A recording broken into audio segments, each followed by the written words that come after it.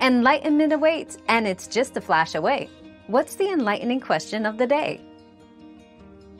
Energetic and warm hues are making a significant entrance, replacing gray in 2023.